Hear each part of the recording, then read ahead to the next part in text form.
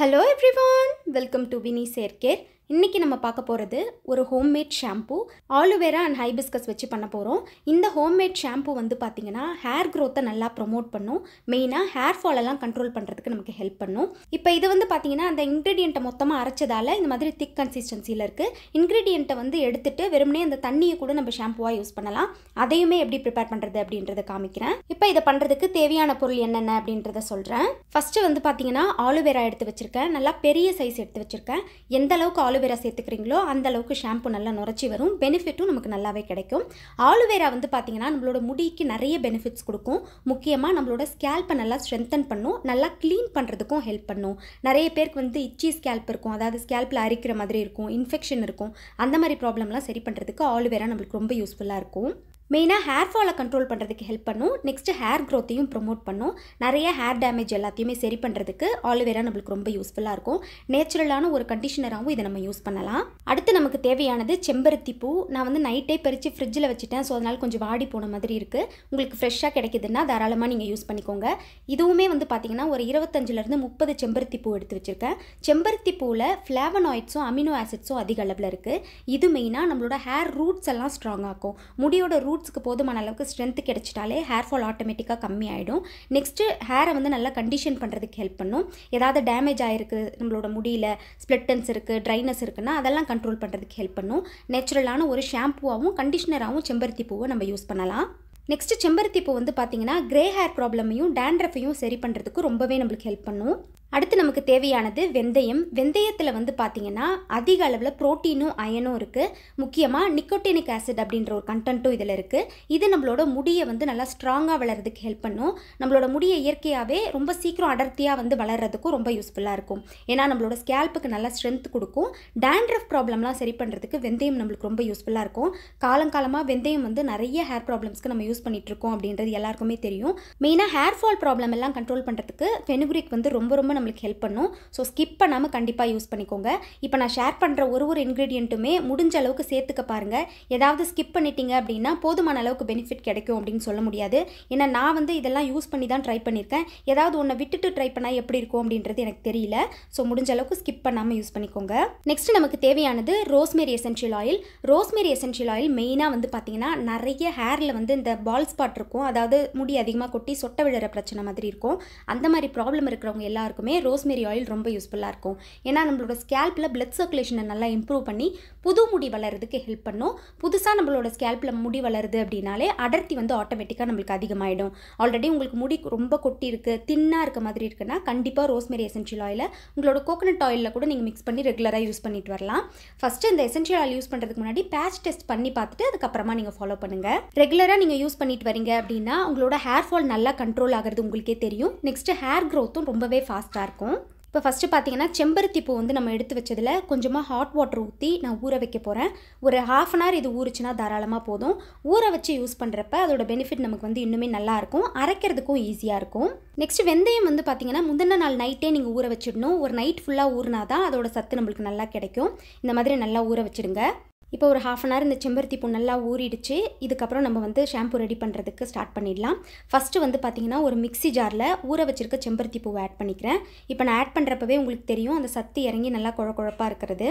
இந்த செம்பருத்தி பூவை ஆட் பண்ணிவிட்டு அந்த தண்ணியை வந்து அப்படியே வச்சுருங்க வேஸ்ட் பண்ண வேண்டாம். செம்பருத்தி பூ ஆட் பண்ணதுக்கப்புறமா ஆலுவேரா வந்து நான் ஆட் பண்ணிக்கிறேன். நான் பெரிய ஆலுவேரா எடுத்தேன் அதனால் நிறையவே இருக்குது போதுமான அளவுக்கு அளவாக ஆட் பண்ணிக்கிறேன்.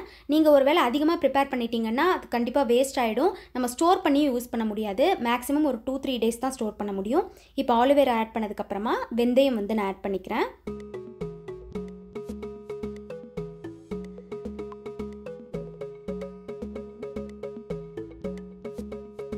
இப்போ எல்லாத்தையும் ஆட் பண்ணியாச்சு. ஆட் பண்ணதுக்கப்புறமா இது நம்ம நல்லா அரைச்சிக்கலாம். தண்ணி எதுவும் விடாமல் அப்படியே அரைச்சி எடுத்துக்கோங்க.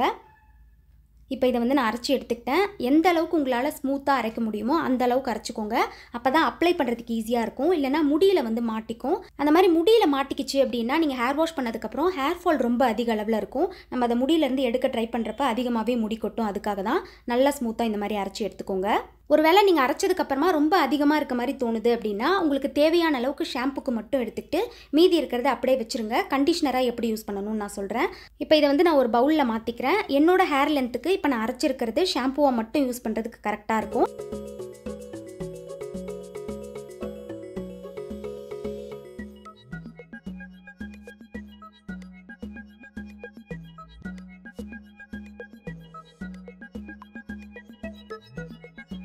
இப்போ இது கூட வந்து பார்த்தீங்கன்னா நான் மைல்டு ஷாம்பு வந்து ஏதாவது ஆட் பண்ண போகிறேன் பேபி ஷாம்பு கூட நீங்கள் ஆட் பண்ணிக்கலாம். ஷாம்பு எதுக்காக நான் முக்கியமாக ஆட் பண்ணுறேன்னு பார்த்தீங்கன்னா ஹேர் வாஷ் பண்ணுறப்ப நல்லா நுரைச்சி வரும். இந்த நுரைச்சி வரல அப்படின்னா ப்ராப்பராக ஹேர் வந்து க்ளீனாக இருக்கா அப்படின்ற ஒரு ஃபீல் எனக்கு இருக்காது. அதுக்காக தான். நெக்ஸ்ட் ஆயில் வச்சுருக்கோம்னா அதுவும் போகிறதுக்காக நம்ம ஷாம்பு வந்து ஆட் பண்ணிக்கலாம். ஒருவேளை உங்களுக்கு ஷாம்பு ஆட் பண்ண வேணாம் அப்படின்னா தாராளமாக நீங்கள் ஸ்கிப் பண்ணிவிட்டு வெறும் இந்த பேஸ்ட்டை மட்டும் யூஸ் பண்ணி கூட ஹேர் வாஷ் பண்ணிக்கலாம். ஸ்கேல்ப் வந்து நல்லா க்ளீன் ஆகும். பட் எண்ணெய் வந்து அப்ளை பண்ணியிருக்கீங்கன்னா அது கண்டிப்பாக போகாது. உங்களுக்கு தேவைப்பட்டால் அளவாக கூட கொஞ்சமாக ஆட் பண்ணிக்கோங்க. அப்படி இல்லைன்னா பூவந்தி கொட்டை இருக்குல்ல அதை ஊற வச்சு கூட நீங்கள் நுரைக்கிறதுக்காக இது கூட ஆட் பண்ணிக்கலாம். இப்போ நான் நல்லா மிக்ஸ் பண்ணி விட்டுக்கிறேன். நான் ஆல்ரெடி சொன்ன மாதிரி இந்த ஷாம்புவை வந்து நீங்கள் ஸ்டோர் பண்ணி யூஸ் பண்ண முடியாது. மேக்ஸிமம் ஒரு ரெண்டு மூணு நாள் மட்டும் ஃப்ரிட்ஜில் வச்சு யூஸ் பண்ணலாம். அதுக்கு மேலே பார்த்தீங்கன்னா வெந்தயம் ஆட் பண்ணியிருக்கிறதால சீக்கிரமாக புளிச்சிடும். இப்போ இதை எப்படி யூஸ் பண்ணணும்னு சொல்கிறேன் நார்மலாக ஹேர் வாஷ் பண்ணுறதுக்கு எப்படி ஷாம்பு யூஸ் பண்ணுவீங்களோ இல்லை சீக்கா யூஸ் பண்ணுவீங்களோ அதே மாதிரி முடியை ரெண்டாக பிரித்து நல்லா ஸ்கேல்பில் அப்ளை பண்ணிக்கோங்க. அப்ளை பண்ணிவிட்டு ஸ்கேல்ப்பை நல்லா ஜென்டிலாக மசாஜ் பண்ணுங்கள் மசாஜ் பண்ணிவிட்டு ஒரு த்ரீ மினிட்ஸ்லேருந்து ஃபைவ் மினிட்ஸ் வரைக்கும் அப்படியே விட்டுடுங்க. அந்த இன்க்ரீடியண்ட்டோட சத்து வந்து நம்மளோட முடியோட ரூட்ஸில் இறங்கணும். அதுக்கப்புறமா நீங்கள் எப்பவும் போல் ஹேர் ஃபுல்லாக அப்ளை பண்ணி நார்மலாக எப்படி ஹேர் வாஷ் பண்ணுவீங்களோ அந்த மாதிரி ஹேர் வாஷ் பண்ணிக்கலாம். நான் ஆல்ரெடி சொன்ன மாதிரி மீதி பாதி நீங்கள் கண்டிஷனருக்கு எடுத்து வச்சிருக்கீங்க அப்படின்னா அந்த எடுத்து வச்சதில் நீங்கள் ஷாம்பு ஆட் பண்ணியிருக்க மாட்டீங்க. ஸோ அதை வந்து கண்டிஷனராக யூஸ் பண்ணிக்கலாம். ஹேர் வாஷ் பண்ணதுக்கப்புறமா அந்த பேஸ்ட்டை திரும்பவும் உங்கள் ஸ்கேல்ப் அண்ட் ஹேர் ஃபுல்லாக அப்ளை பண்ணிவிட்டு ஒரு ஃபைவ் மினிட்ஸ் அப்படியே விட்டுடுங்க. அஞ்சு நிமிஷத்துக்கு அப்புறமா பிளெயின் வாட்டரில் நீங்கள் வாஷ் பண்ணிக்கலாம். முக்கியமான விஷயம் உங்களோட ஸ்கேல்ப்ல இருந்தும் இருந்தும் இந்த பேஸ்ட் கம்ப்ளீட்டாக போயிடுச்சான்னு பார்த்து க்ளீனாக வாஷ் பண்ணுங்கள் சப்போஸ் ஸ்கேல்ப்லேயே தங்கிடுச்சு அப்படின்னா ஸ்கேல்ப் இன்ஃபெக்ஷன்லாம் வரதுக்கு சான்ஸ் இருக்குது ஸோ பார்த்து கொஞ்சம் கவனமாக க்ளீன் பண்ணிக்கோங்க. ஒருவேளை ஹேர் மாஸ்க்காக யூஸ் பண்ண போகிறீங்கன்னா உங்களுக்கே தெரியும் ஷாம்பு ஆட் பண்ணாமல் ஹேர் வாஷ் பண்ணுறதுக்கு முன்னாடி ஹேர் பேக்காக அப்ளை பண்ணிவிட்டு ஒரு டுவெண்ட்டி டு தேர்ட்டி மினிட்ஸ் விட்டு normal shampoo and conditioner use பண்ணி நீங்கள் ஹேர் வாஷ் பண்ணிக்கலாம். இப்போ இந்த செம்பருத்தி பூவும் வெந்தயமும் ஊற வச்ச தண்ணியை நான் ஒன்றா மிக்ஸ் பண்ணி வச்சுருக்கேன். இந்த தண்ணியில் வந்து பார்த்தீங்கன்னா நம்ம எடுத்து பார்க்குறப்பவே தெரியும் அந்த குழகுழப்பு தன்மை அப்படியே இருக்கும். இதை டீடாங்கிளிங் ஸ்ப்ரேவாக நம்ம யூஸ் பண்ணலாம். இப்போ இந்த தண்ணி கூட வந்து பார்த்தீங்கன்னா எசென்ஷியல் ஆயில் ஆட் பண்ணிக்கலாம். ரோஸ்மெரி எசென்ஷியல் ஆயில் வந்து ஒரு அஞ்சு ட்ராப் அளவுக்கு ஆட் பண்ணிக்கிறேன். இந்த தண்ணியை மேக்ஸிமம் ஒரு செவன் டேஸ் வரைக்கும் நீங்கள் ஸ்டோர் பண்ணி யூஸ் பண்ணலாம். ஃப்ரிட்ஜில் வச்சு வெளியில் வச்சிங்கன்னா கெட்டு போயிடும். நல்லா மிக்ஸ் பண்ணிக்கோங்க. மிக்ஸ் பண்ணிவிட்டு இப்போ இதை வந்து ஒரு பாட்டிலில் ஸ்டோர் பண்ணி வச்சுக்கலாம். நான் ஒரு சின்ன பாட்டில் எடுத்து வச்சுருக்கேன். இதில் ஊற்றி நம்ம ஃப்ரிட்ஜில் வச்சு யூஸ் பண்ணிக்கலாம். இப்போ இதை வந்து உங்கள் முடி எப்போல்லாம் உங்களுக்கு சிக்காக இருக்குன்னு தோணுதோ அப்போ உங்கள் முடியில் ஸ்ப்ரே பண்ணி விட்டுக்கோங்க. ஸ்ப்ரே பண்ணி விட்டுட்டு சீப்பு வச்சு பொறுமையாக கீழே இருந்து சிக்கு எடுத்துகிட்டே வாங்க.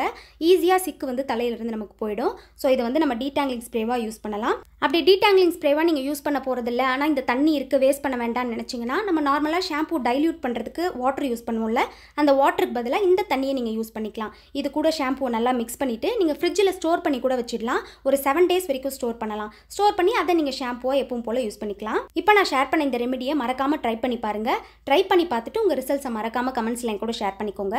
தேங்க்ஸ் ஃபார் வாட்சிங் மை வீடியோ